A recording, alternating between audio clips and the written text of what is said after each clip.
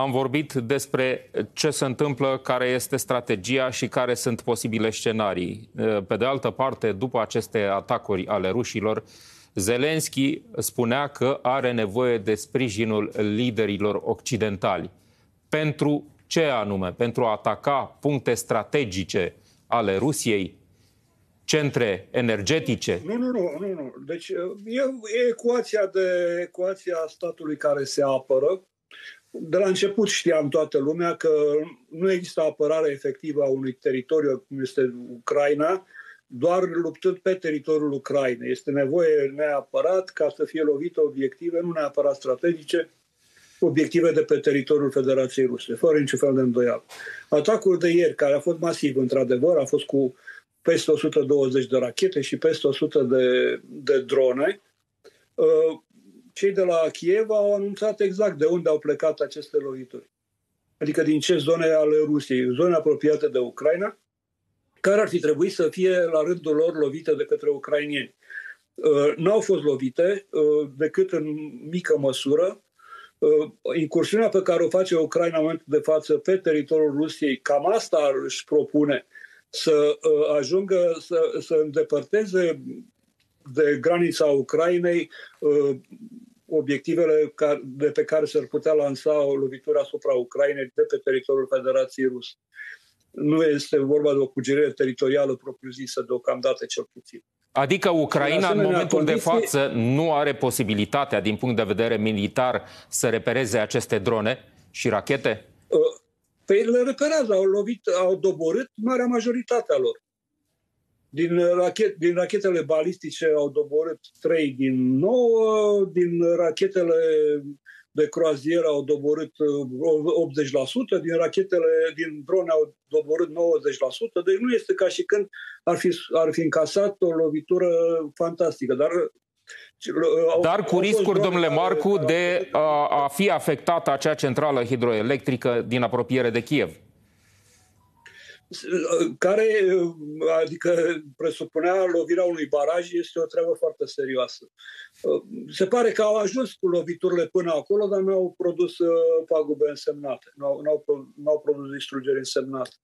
Însă, uh, important este de înțeles că Ucraina, deocamdată, ați anunțat și dumneavoastră că, că își propune să aibă o, să aibă o rachetă de, o, o, să aibă rachete proprii, cu care să, să lovească Rusia, ceea ce înseamnă că pot să lovească unde vor în Rusia fără să trebuiască să aibă, să aibă acordul occidentalilor, dar pentru ce muniție au din, din Occident, mai ales rachetele acestea cu rază medie de acțiune, e nevoie de, ca Occidentul să fie de acord ca ele să fie folosite pe teritoriul Federației Ruse. Sunt aeroporturi care trebuie sclovite neapărat pentru că o parte din rachetele de croazieră au fost lansate din aer, de către aviația rusă, de, din spațiul aerian rusesc, bineînțeles. Deci, uh, ecuația, cam asta este în momentul de față. Ucraina, ca să poată să aibă un succes cât de cât pe teritoriul ei, are nevoie ca să lovească obiective din Rusia și deocamdată nu are o deplină libertate și nici nu are capacitatea deplină de a le lobi. Asta pe de o parte. Pe de cealaltă parte, cum spunea și dumneavoastră, este problema asta a apărării apărării din aer, uh, în, care, în ecuație în care intră și categorie și România, nu numai prin faptul că oferă o, o instalație din aceasta Patriot, ci și pentru că ar putea să gestioneze spațiul aerian, cel puțin o parte din spațiul aerian ucrainean, în comun cu, cu Polonia și cu Ucraina. Uh, pentru ca probabilitatea de interzicere a unor lovituri din aer asupra Ucrainei să, să crească mult mai mult. Deja, v-am spus, este suficient de, de mare, dar uh, e nevoie și de, de o apărare mult mai serioasă aeriană. Și am văzut și de la declarația de la Washington DC că și americanii au intenția aceasta de a, de a întări apărarea aeriană a, a Ucrainei. Bun, asta, asta pe moment. Uh, niciuna din aceste măsuri nu, nu duce la o soluție de câștigare a războiului de niciuna din părți. Războiul acesta poate fi oprit numai de către Moscova, Deci uh, Ucraina nu poate să determine Moscova pe câmpul de război, pe teatrul de război, nu poate să determine Moscova să oprească. Și atunci acest plan de pace Dar, ce reprezintă? Nu, e plan de oprire a războiului. Deci asta e, e o mare diferență. Deci nici nu putem vorbi despre pace până când nu se opresc acțiunile militare. Se spune că Rusia nu acceptă fiecare... sub nicio formă și armistițiu înseamnă altceva pentru ruși. Da, bineînțeles, înseamnă predarea ca Ucrainei să se predea, să, să renunțe la luptă.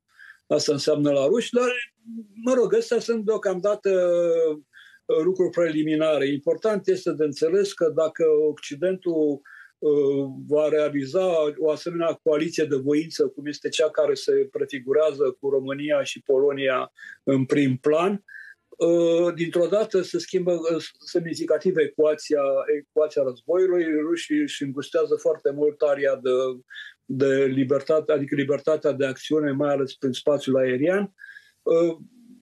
Uh, pe partea terestră, deocamdată nu se întrebă soluții de acestea încât să intre forțe NATO sau forțe ale unei coaliții în, în favoarea Ucrainei, să intre pe teritoriul Ucrainei și să se bată cu rușii acolo.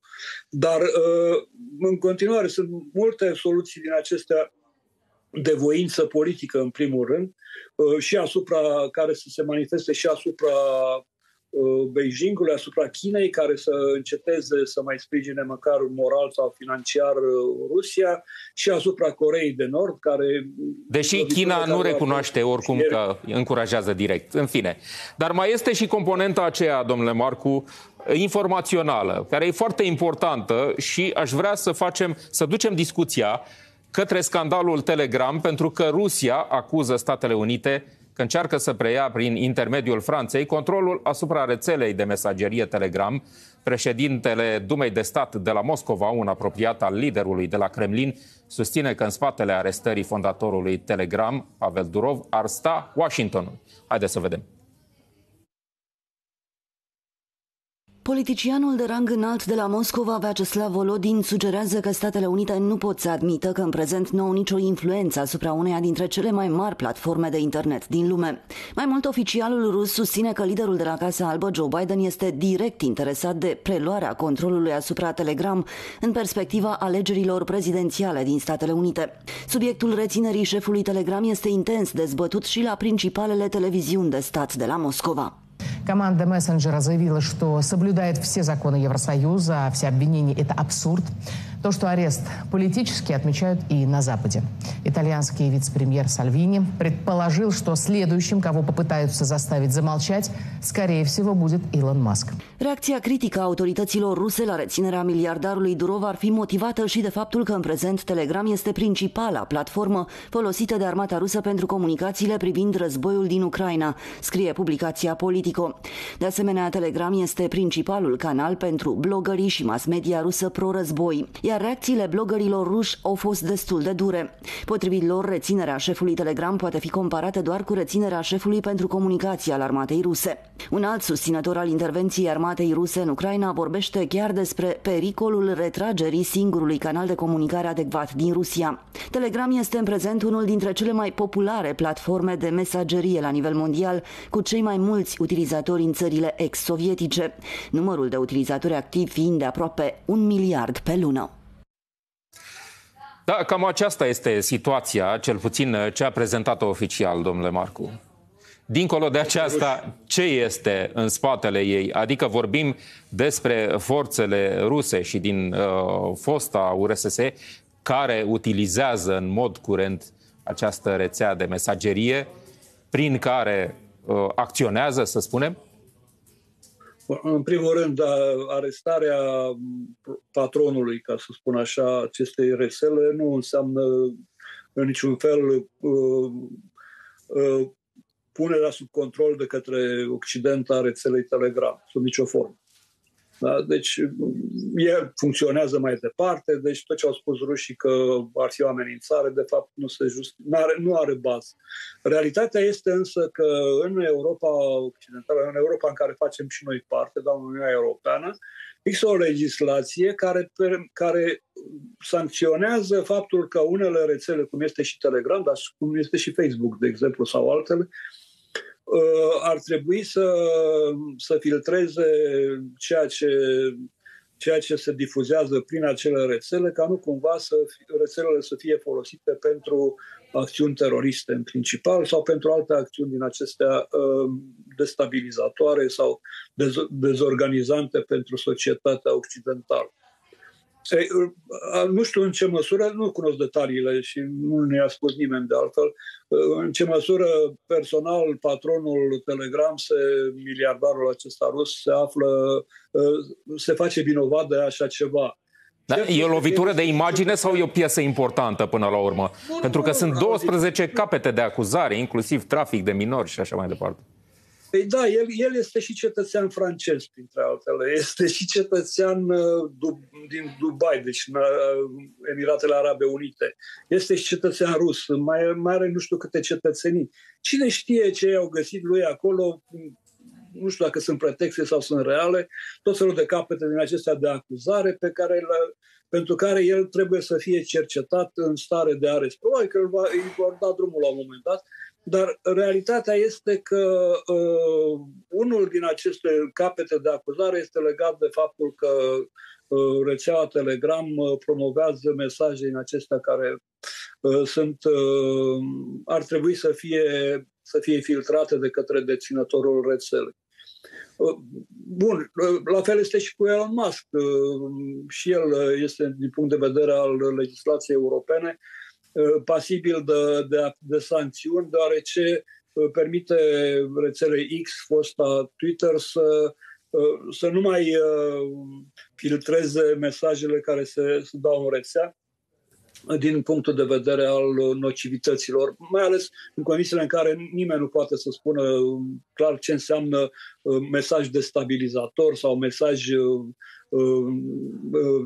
antidemocratic, de exemplu, sau mai știu ce lucruri din acestea. E foarte greu de, de cuantificat și uh, e o problemă a legislației europene. Ați văzut că sunt și mulți lideri europeni care sunt împotriva acestei legislații, cum este și firesc să fie. Uh, rămâne, în niciun caz, americanii nu sunt, uh, nu sunt uh, cum să zic, nu, nu au Franța ca agenda, agenda acțiune pentru asemenea acțiune cum, cum pretind cei de la Moscova. Sub nicio formă. Din contra, și americanii sunt îngrijorați de faptul că uh, legislația europeană are această condiție de a, de a cere deținătorilor de rețele de socializare în masă să controleze mm, mesajele pe care, care se circulă în acele rețele. Bun, în condițiile acestea m-aș întoarce pentru a trage o concluzie în privința speranțelor lui Zelenski. Care sunt momentele sau punctele de cotitură? Așteaptă ceva după alegerile uh, prezidențiale din Statele Unite? Are promisiune acum? Se pot schimba după? Da, e, e o întrebare extraordinar de bună. Uh, Practic, politica actualei administrații Biden a fost din primul moment de pe 24 februarie 2022 cea de a uh, sprijini Ucraina ca să nu cedeze în fața ofensivei și, a, și agresiunii rusești, dar nu să reușească să, să învingă Rusia pe teritoriul Ucrainei. Cum v-am spus, asta presupunând automat și lovirea unor obiective de pe teritoriul Federației Ruse.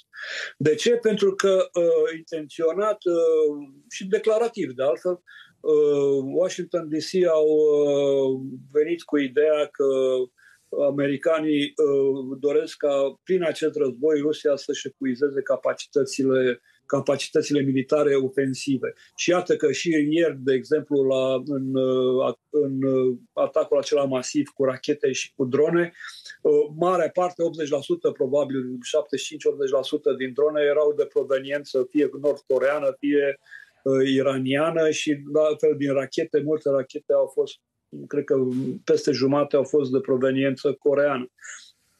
Așa că uh, Rusia ca atare și epuizează, adică obiectivul strategic american se îndeplinește pas cu pas în uh, războiul acesta.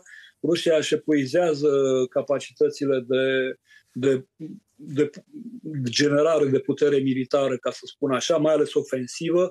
Uh, sigur, rămân cu capacități de apărare, dar ofensivă o să aibă din ce în ce mai puțin și nu o să mai poate face încă un război cum cel pe, pe cel care îl duc în momentul de față în Ucraina.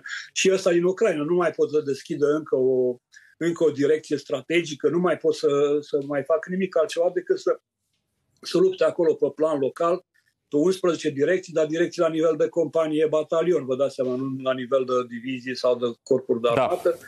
prin, care să, prin care să ajungă măcar să, să aibă controlul militar asupra uh, teritoriilor pe care deja le-au, le-au declarat că făcând parte din, din, Uniunea, din uh, Federația Rusă. Adică ajungem... Deci aici suntem. Da. Mulțumesc mult, uh, domnule Marcu.